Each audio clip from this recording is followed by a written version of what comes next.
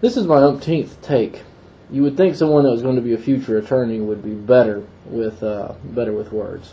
All right, I've been messing with augmented reality. It's a computer technology where markers are looked at by a camera that are, that's attached to a computer, and the computer is able to calculate the position of the camera based on the perspective of the marker, which is sort of a 2D barcode.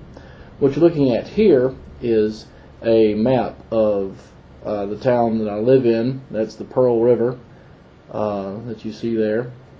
You can get as close as you want to it.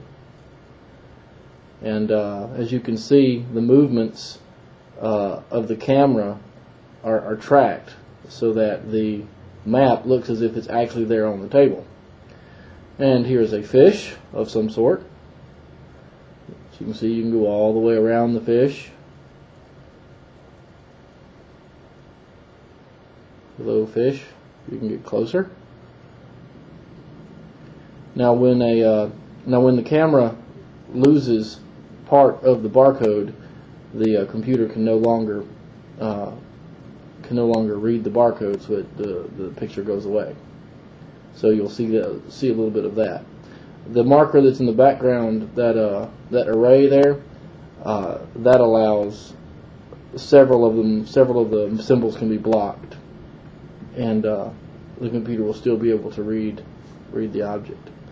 Here's a can of asparagus.